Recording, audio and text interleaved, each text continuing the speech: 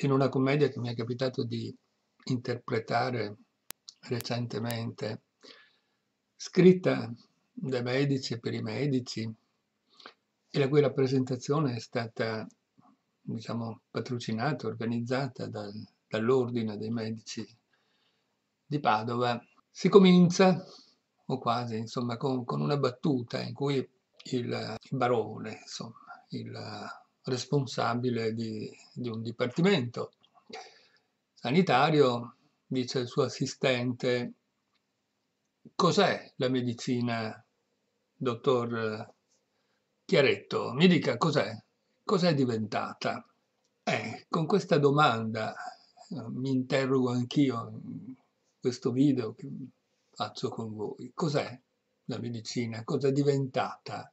E, e lo dico perché pur vivendo in uno dei luoghi eh, che si dicono come dire, ottimali dal punto di vista della qualità dell'assistenza sanitaria, cioè la provincia di Padova, il Veneto, trovo che la medicina sia diventata qualcosa di molto diverso da com'era quando ho cominciato a lavorare io. Sono laureato alla fine dell'anno accademico 1974 e nel 75, all'inizio del 75 ho cominciato a lavorare.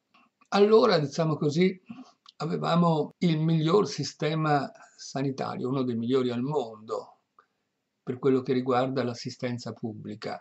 E per l'assistenza pubblica dico un sistema sanitario al servizio del cittadino che si presentava come qualcosa di gratuito e quindi di usufruibile nello stesso modo per tutti. Quindi rivolto a tutti e senza costi aggiuntivi. Era un sistema sanitario che dava una copertura sanitaria a tutti in tempi, diciamo, reali, almeno al nord dove ho cominciato a lavorare io, compatibili, insomma, in tempi reali buoni, con una buona qualità. Mm, un sistema sanitario diciamo, che nel mondo ci invidiavano e forse dopo proverò a dire qualcosa su perché, insomma, su quali sono le differenze. La constatazione che, che, che mi capita di fare adesso è che quel sistema sanitario non c'è più. L'abbiamo in qualche modo distrutto.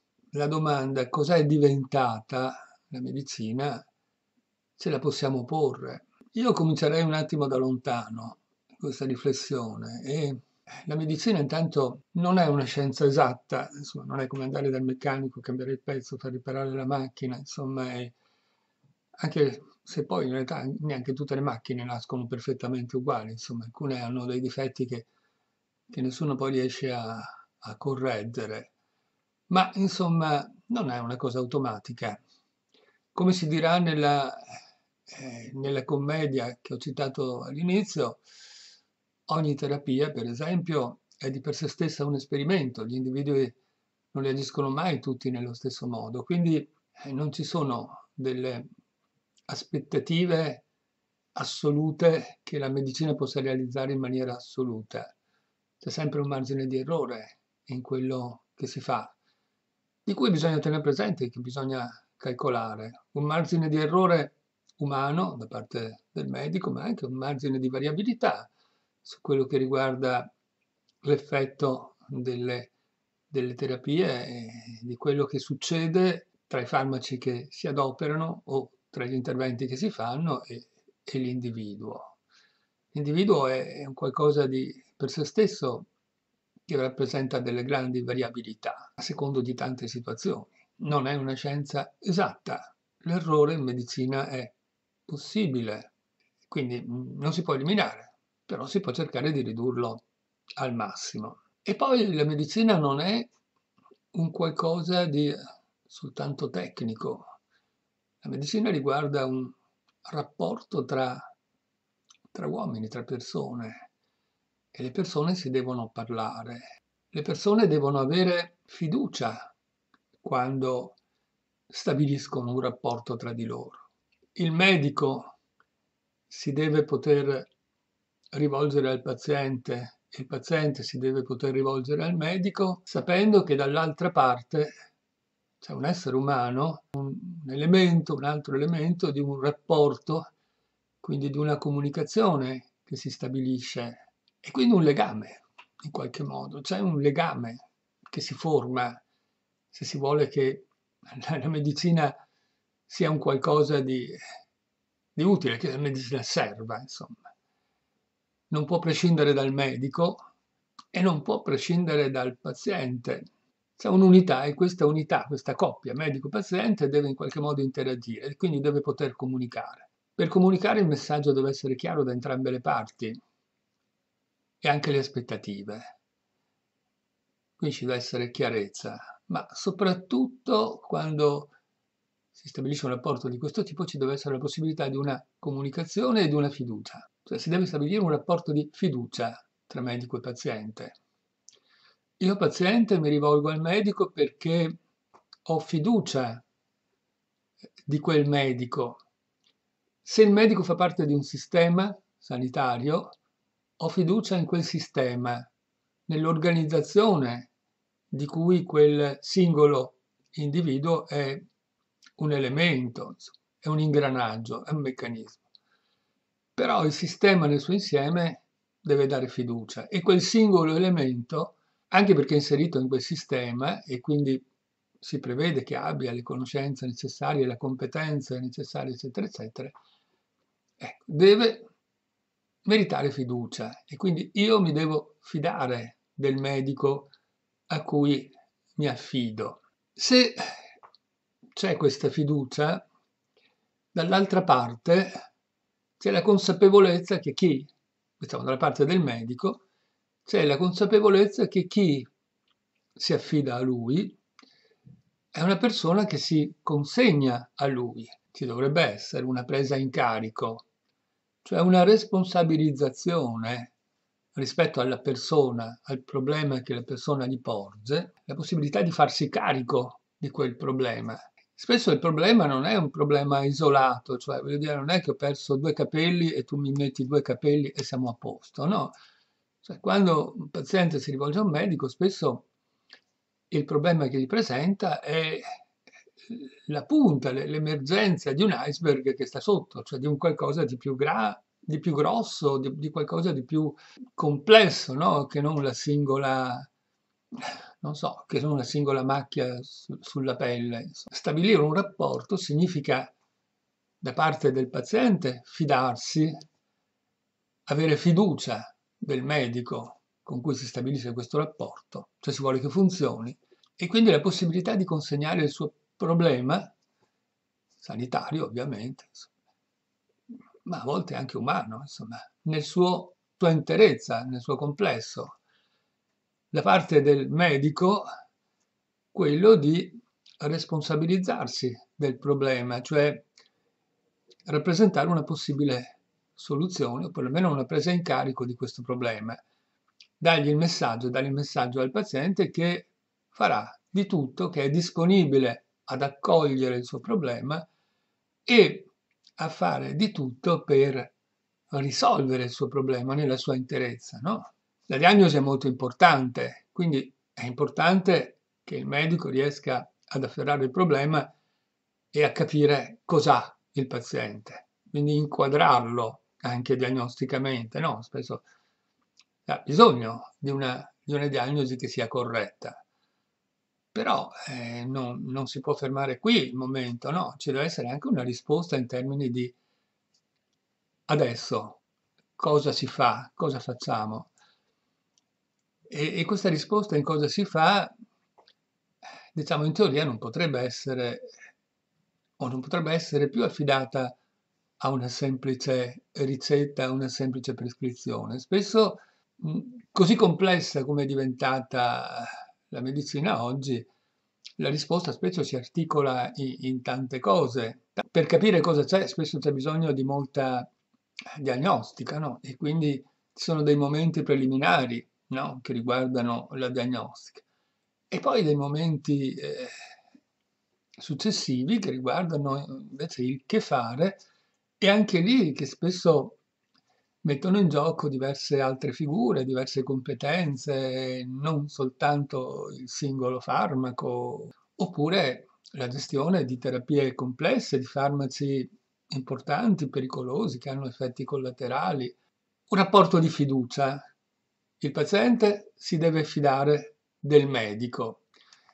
Se il paziente non si fida del medico, la cosa diventa molto complicata, perché il medico avverte immediatamente la diffidenza del paziente. Anche lui, a sua volta, diventa diffidente nei confronti del paziente. Perché in questo rapporto medico-paziente o medicina, individuo, medicina, cittadini, medicina, si è inserita anche un'altra componente che è la legge, che è il diritto cioè il diritto che ha il cittadino di essere curato nel modo migliore e quindi l'illusione che è stata data ai cittadini, dal sistema, l'illusione che la medicina sia un qualcosa di totipotente, possa tutto, non sbagli o non debba sbagliare. Cioè non è ammesso l'errore, non è ammesso la, la cosa. Si dice nella battuta iniziale della commedia che citavo, il medico si sente sempre sotto l'assedio delle sentenze,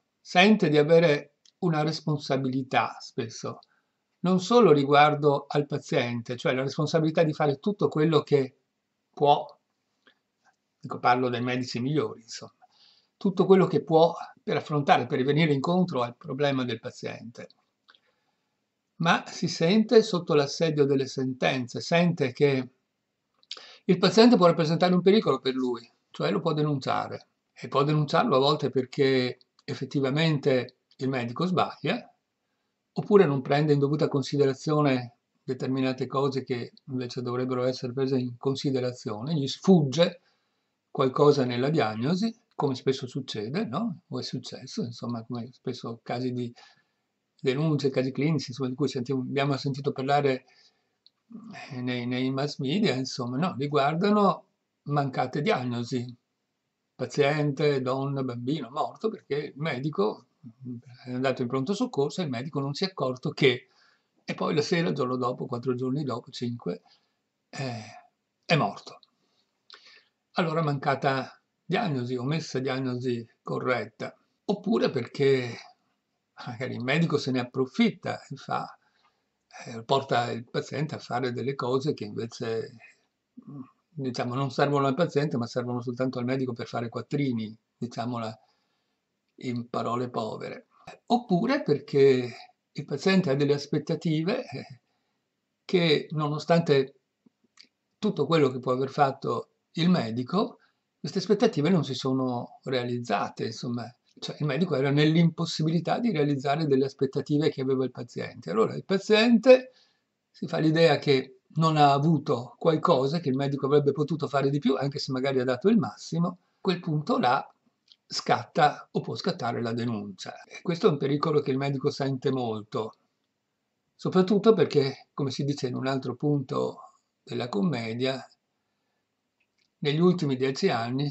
le denunce sono aumentate inesorabilmente, cioè il cittadino diventa sempre più rivendicativo nei confronti del medico. Risponde a questa rivendicatività che non riguarda solo, diciamo, errori che si possono fare in maniera più o meno consapevole per quelle che sono le motivazioni, no?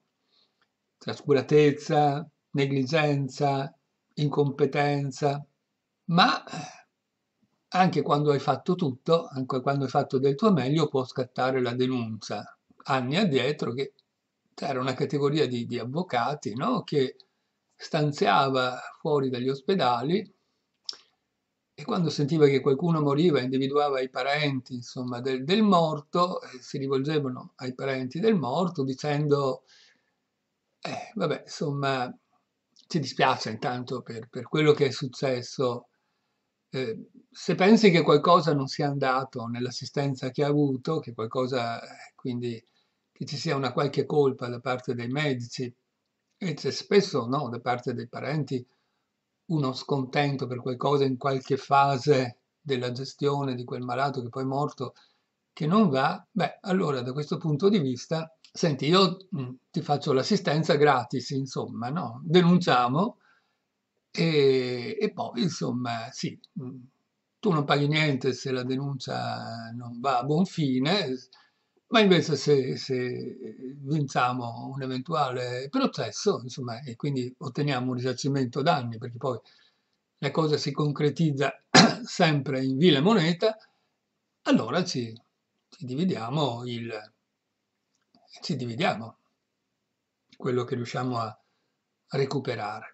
La cosa fa sì che i medici, soprattutto quelli, quelli più esposti, si devono coprire con delle assicurazioni che sono abbastanza costose che quindi anche questo sia un costo che devono sostenere. Diciamo, il rapporto medico e paziente è condizionato anche da questa, dal fatto che c'è la legge e ci sono le denunce sempre pendenti e quindi la necessità di difendersi da queste denunce, da questo che pesa. Ed ecco quindi che dalla fine degli anni 90 si sente parlare di medicina di difesa. Cos'è la medicina di difesa? È qualcosa che fa sì che i medici mettono le mani avanti percependo questa mancanza di fiducia, mancanza di affidamento da parte del paziente, perché anche loro non è che fanno di tutto per meritare questa fiducia, ovviamente, giocandosi queste cose, ven- essendo venuta meno la capacità di affidarsi da parte del paziente al medico e il medico percependo questa mancanza di fiducia da parte del paziente, spesso anche perché se la merita, mette le mani avanti. E quindi o fa il meno possibile o cerca di chiedere esami che spesso sono inutili o altre consulenze in modo tale che il livello di responsabilità si sposti sempre a qualcun altro finché arriva all'ultimo anello della catena dove uno in qualche modo la responsabilità se la deve prendere, ma c'è questo, questa modalità di, di comportamento di responsabilizzarsi sempre meno, di prendersi sempre meno carico della totalità del problema del paziente e di per ogni singolo elemento di quel problema no, si cerca di individuare un'altra figura competente, si cerca sempre di essere sempre meno competenti per quello che riguarda la globalità, prendersi il minimo di responsabilità e il resto delegarla sempre ad altri altri esami, altre consulenze, altre visite, insomma tutta, tutto uno spostare in avanti, esami sempre più complessi, sempre più difficilmente anche affrontabili dal paziente, il quale spesso è spaesato no? in questa, eh, da, da, questi accertamenti che non, che non capisce, quindi spostare sempre in là. Questo cosa comporta? Comporta ovviamente una una, un frazionamento intanto. Il paziente è diviso eh, tante figure professionali e quindi non sa più qual è il suo referente fondamentale. Perché c'è anche questo poi, no? Che non c'è più o è molto difficile trovare il medico che poi si fa carico nella totalità del tuo problema, cioè che ti porta avanti il tuo problema, cioè che una volta che ti ha chiesto anche tanti esami, tante visite, poi faccia la sintesi e si impegni a curarti.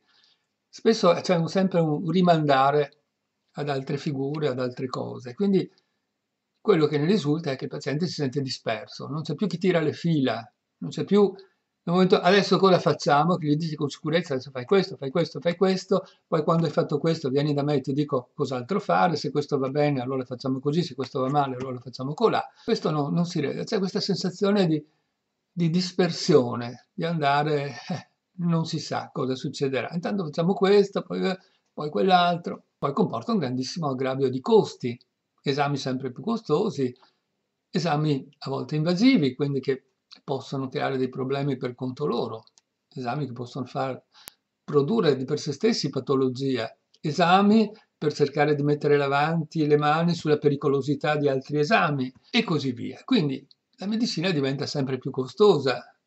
Ma oltre a questo, siccome poi il paziente stesso spesso no, viene assicurato chiedendo altri esami, cioè se ha poca fiducia nel medico, magari tende a fidarsi di più degli accertamenti, no? Se li vuole far fare.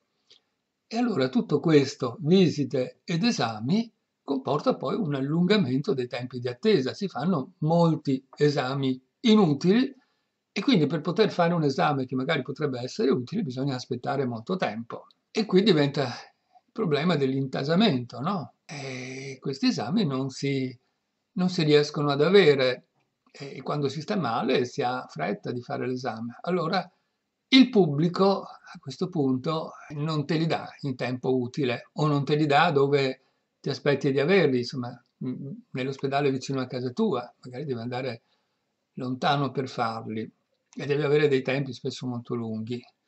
E allora cosa si fa? Si va privatamente. No, se la medicina pubblica non è più in grado di sostenere eh, questo, questo tipo di prestazioni o questa quantità di prestazioni, eh, deve andare nel privato. Ed ecco che sto accorgendo, insomma, no, che anche nel Veneto, in cui quando ho cominciato a lavorare io non c'erano strutture private, praticamente non esistevano.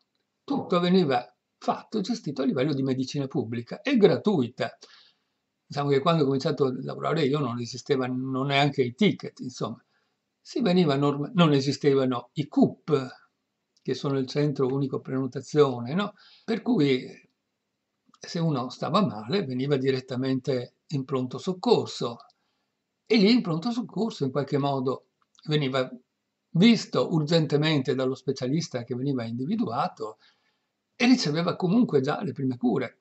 Oppure diciamo i medici di base, quelli, cioè, i medici di base, non lo so, non posso dire se erano più preparati di quelli che sono oggi, però insomma erano, c'erano dei medici di base che spesso si prendevano carico, conoscevano i loro pazienti, si prendevano carico di questo paziente, cosa che mi accorgo è fatta sempre meno adesso. E quindi la risposta era abbastanza pronta, insomma, era abbastanza, insomma, il massimo lo si trovava nelle strutture pubbliche e quindi non c'era bisogno, nel Veneto almeno, insomma, da quello che ricordo io, di strutture private, o ce n'erano molto meno, molto molto meno. Cosa è successo invece negli ultimi anni, di cui mi sto accorgendo? Che sono sorte una quantità enorme, anche qui, di strutture private, proprio penso in seguito a questa diciamo incapacità del pubblico di far fronte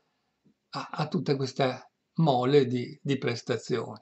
Però detto così sarebbe troppo semplicistico, nel senso che non è che la medicina pubblica non abbia fatto eh, la propria parte, anche come sistema, come strutture, insomma, per arrivare a questo. Quello che era la medicina pubblica 50 anni fa, diciamo, cioè un qualcosa di accessibile immediatamente, aperto a tutti, la quantità di posti letto che c'erano a disposizione, non soltanto per, per la malattia acuta, insomma, no? per la prestazione eh, urgente e diciamo era molto maggiore la quantità di posti letto, la disponibilità di struttura della medicina pubblica era molto maggiore di quella che c'è adesso, anche se non sembra, se, non può, se può non sembrare. Insomma, il reparto dove lavoravo io, un reparto di neurologia, aveva 60 posti letto, diciamo così, ma poi questi 60 posti letto diventavano anche 70, 75, cioè si mettevano i letti bis, insomma, quando c'era bisogno. E si riusciva quasi sempre a trovare un posto. Se non c'era un posto in quel giorno, il paziente che aveva la necessità di essere ricoverato magari veniva tenuto, gli si trovava un posto in medicina e poi il giorno dopo lo si trasferiva appena se ne liberava uno lo si trasferiva in reparto da noi. E soprattutto chi arrivava in reparto con un problema acuto, mettiamo con un ictus, eh, non andava a casa la settimana dopo, appena fatto gli esami, appena detto che, che hai un ictus, ma durante il ricovero riceveva anche tutta la, l'assistenza necessaria in pazienti di questo tipo e veniva messo nella condizione di avere il massimo del recupero possibile anche dal punto di vista funzionale in ambito, eh, diciamo, in ambito di ricovero. E veniva mandato a casa quando era nelle condizioni migliori per poter andare a casa, cioè quando aveva recuperato il massimo che si poteva recuperare, insomma, almeno eh, in un tempo medio-lungo. Non si poteva tenere un anno, però due mesi un malato che aveva un deficit, che aveva una paralisi, veniva tenuto per poter fare anche la rieducazione funzionale, insomma, e aveva tutte le, le assistenze. Ma nel frattempo, tra l'altro, in quel frattempo, quel paziente, magari anziano, aveva una serie di altri problemi che andavano indagati, faceva tutti gli accertamenti in ambito di ricovero, quindi gratuitamente, tutti gli esami necessari, in modo tale da affrontare non solo il problema principale per cui era stato ricoverato, ma anche cercare di, di risolvere, anche con l'aiuto di altri specialisti, eccetera, eccetera, anche altri problemi che poteva presentare.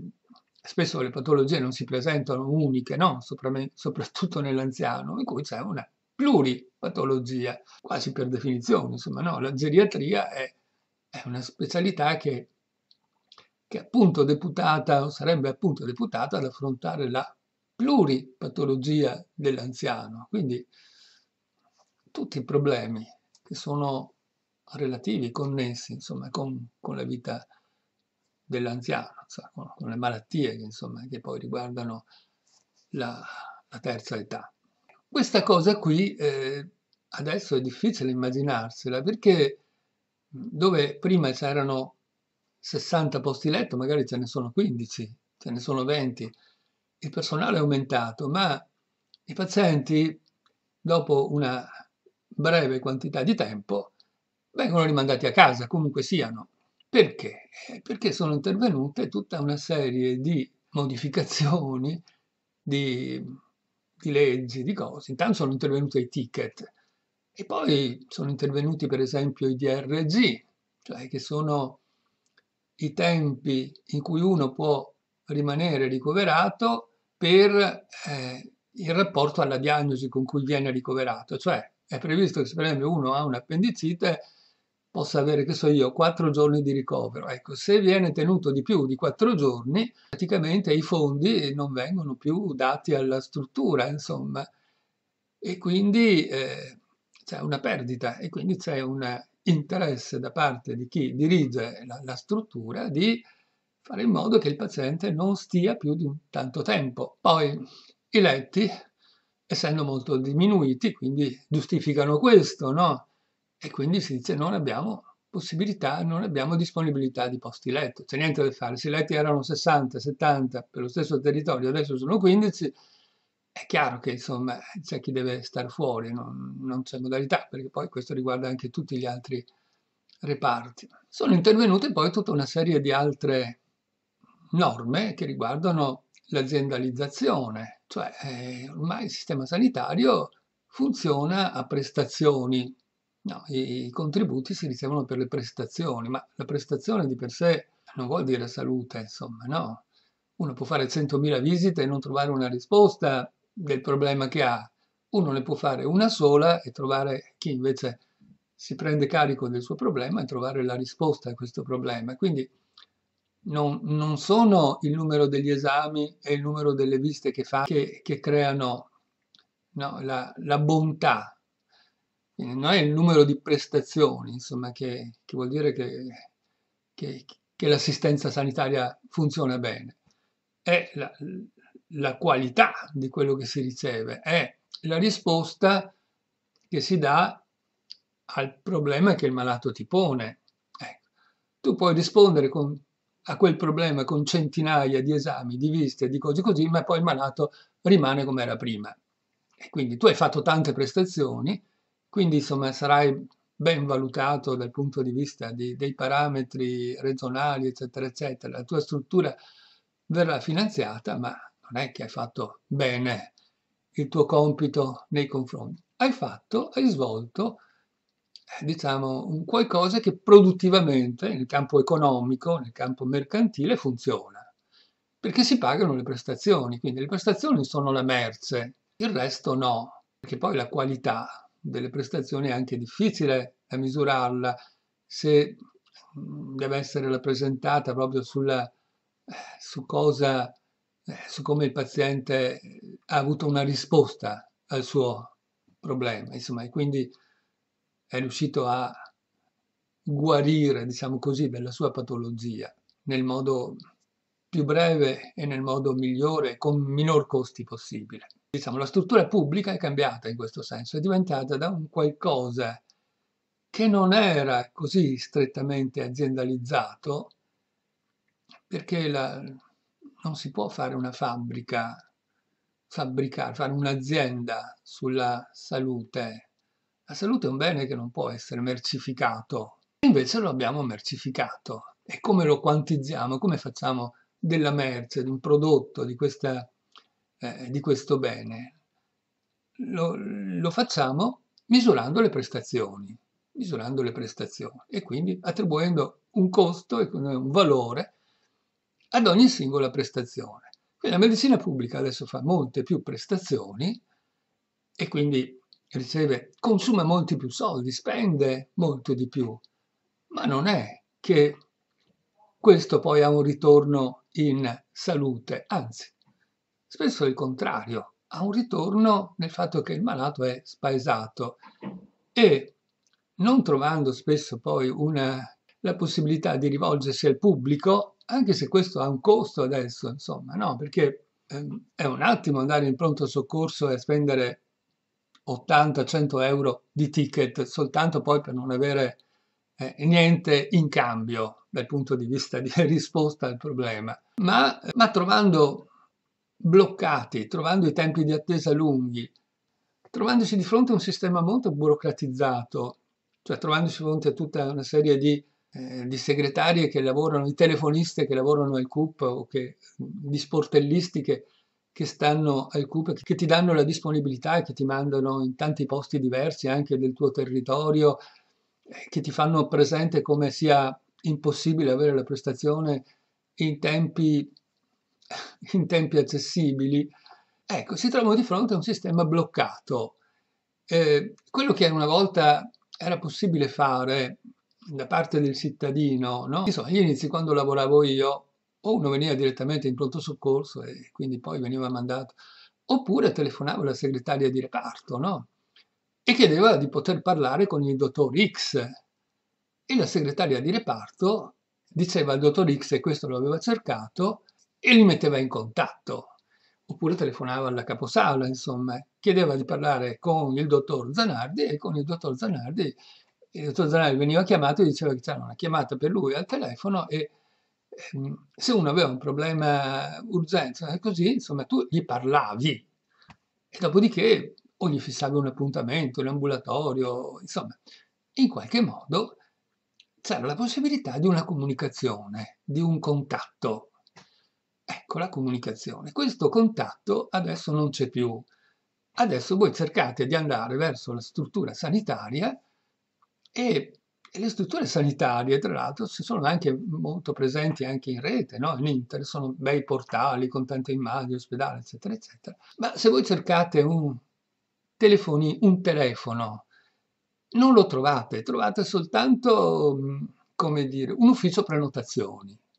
E l'ufficio prenotazioni spesso vi dà, quindi non potete mai eh, rivolgervi direttamente magari al medico con cui vorresti parlare o vorreste magari far presente il problema che avete e cercare il tempo migliore per poter avere una visita, una prestazione. Molto più difficoltà nella comunicazione adesso rispetto a 40-50 anni fa. Molta più difficoltà. E questa difficoltà di comunicazione, che anche proprio la difficoltà di entrare in contatto con la struttura o con un operatore di questa struttura, è una cosa che già suscita una certa aggressività nel paziente, in chi ha bisogno, in chi sta male. Quando magari dopo un mese, dopo due mesi, arriva finalmente a che così ha già dentro di sé una, una certa dose di aggressività che la scarica evidentemente sul medico che c'è lì, che raggiunge quel momento, il quale è già pronto a prepararsi a difendersi. Ecco allora che il rapporto di fiducia quello per cui ti devi fidare del medico che, che hai davanti, e il rapporto e la capacità poi del medico di prendersi carico viene a mancare. Ormai vediamo che difficilmente si trovano medici capaci di prendersi carico per intero del tuo problema. No, ci sono tante belle, ma non solo su, sui portali, ma anche su Facebook, no? Ci sono tanti medici ormai che, che mostrano le, le, cliniche, gli strumenti, si mostrano col bavaglino, si mostrano con tutta una serie di cose, no? C'è un'immagine, un immaginario che viene creato, come se quello fosse o garantisse la, la cosa. Però ormai si è spostato tutto, anche in luoghi di eccellenza, sul privato.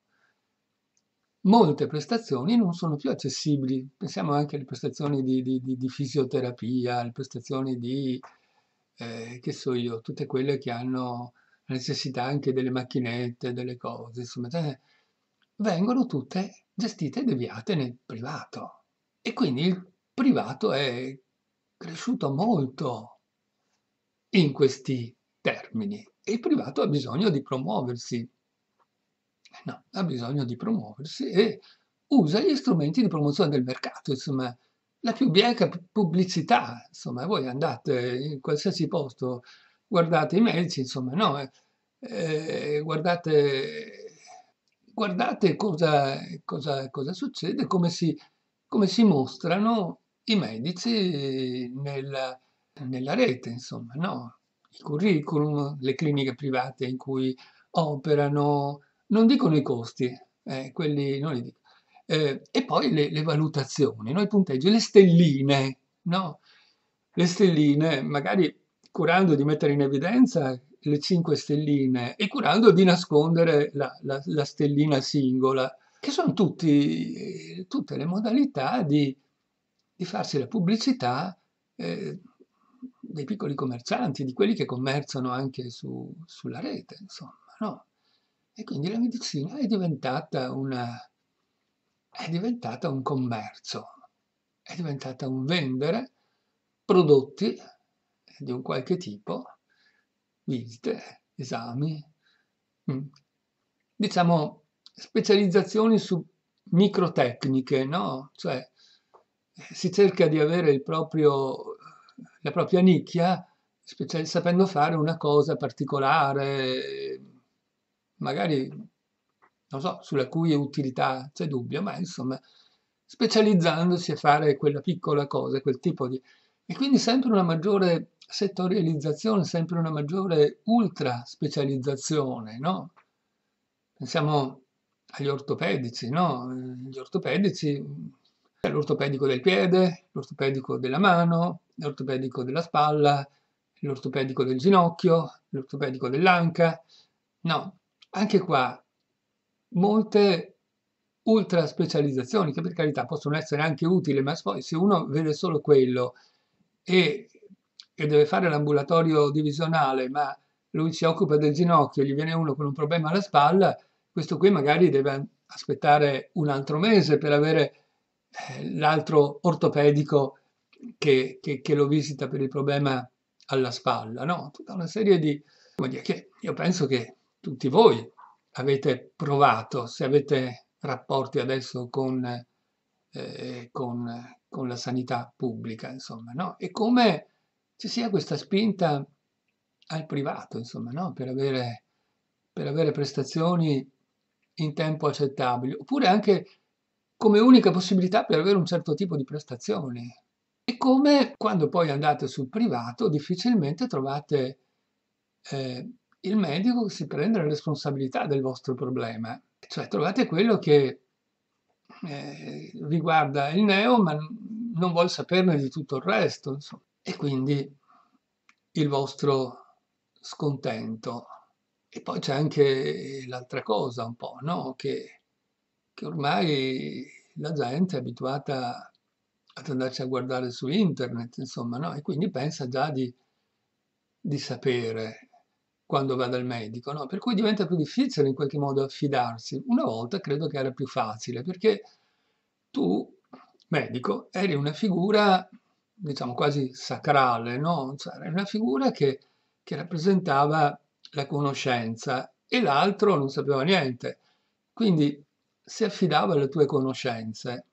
Tra l'altro una volta c'era anche questa cosa che, che tu eri sì un singolo, ma lavoravi in, un, in ambito ospedaliero sempre all'interno di un gruppo e questo gruppo poi si confrontava con gli altri specialisti dell'ospedale oppure con specialisti esterni, cioè su un, su un ospedale diciamo periferico, provinciale, tu avevi magari o il consulente oppure ti andavi a consultare con, con l'università, per esempio. No? Quindi c'era questa rete di rapporti per cui la prestazione che tu avevi anche in un ospedale periferico, grosso modo ti garantiva sulla qualità di quella prestazione, perché c'era un confronto del singolo con gli altri membri dell'equipe, dell'equipe poi con, con, gli altri specialisti, del, un confronto continuo, fattivo, insomma, in tempi reali, e poi un confronto anche con, con le strutture universitarie, insomma, quindi c'era questa rete di, di, di, di confronto e quindi la prestazione che tu avevi da quel singolo medico era la prestazione, insomma, media che avresti potuto ricevere e che quindi ti dava una certa garanzia di validità. E tu medico eri, diciamo, il referente, ma era più facile per te avere la fiducia perché veniva una persona che non sapeva niente. No, e quindi quello che tu gli dicevi spesso era oro colato e stava nella tua responsabilità poi di dirgli le cose nel modo migliore, di aver fatto tutto nel modo migliore, ma era più facile perché avevi dall'altra parte una persona che era disposta ad affidarsi. Allora, se tu accogli questa persona che è disposta ad affidarsi, che ti dà fiducia, tu cerchi di meritarla questa fiducia, no? E quindi tu rivolgevi e cercavi di farti carico del problema di quell'altra persona, cioè di non soltanto di arrivare a una diagnosi e di prescrivergli come dire, in sequenza, no? gli esami da quelli più semplici, ma magari che sono i più utili, a quelli più complicati. E non lo facevi solo perché volevi toglierti la responsabilità, diciamo così, di non sbagliare, cioè volevi toglierti il pericolo della legge, no? Medicina di difesa, ma lo facevi secondo quello che era il criterio di fare la cosa più giusta, e quindi di, di fare la, la procedura più, più giusta e più conveniente per il malato. Ma anche quando arrivavi poi alla diagnosi, cercavi di, di, prenderti carico del problema di quel malato, quindi cercavi di fare in modo che gli esami che doveva fare, oppure le ulteriori visite, oppure non so, se c'era un problema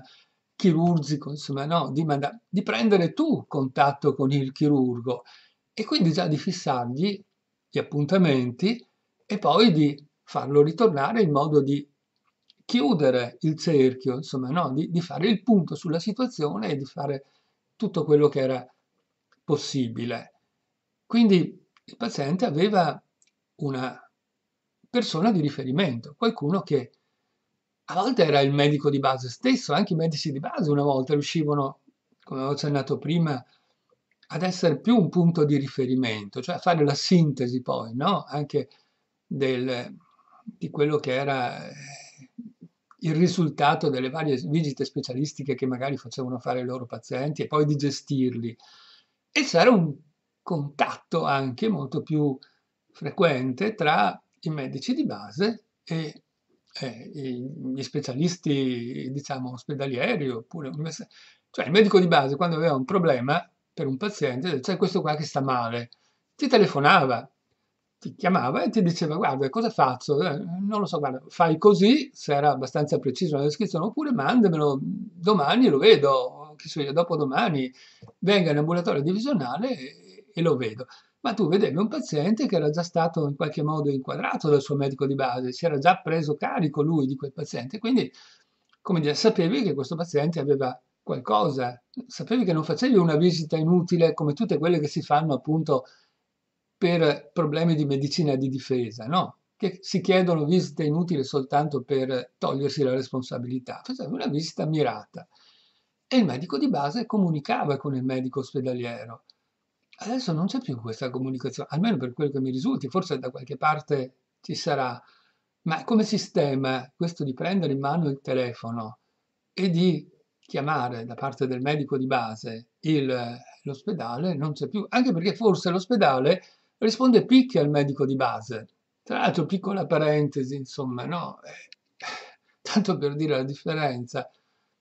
Una volta c'era una specie, non so, chiamiamo etica professionale, ma c'era una cosa per cui, insomma, se tu andavi a farti visitare da un collega, se tu chiedevi, insomma, un parere a un collega così, no, non pagavi, cioè che tra colleghi non si pagavano le prestazioni, anche se andavi privatamente. Insomma. Privatamente i colleghi non si facevano pagare, adesso invece si fanno pagare anche i colleghi, non, non c'è più neanche una discriminazione in questo, insomma no, succede no, non solo tra i medici, cioè voglio dire, lo spirito è diventato molto più quello di, di concorrenza, come è successo poi, come sta succedendo in tutte le altre professioni, insomma, no, ne parleremo anche di questo.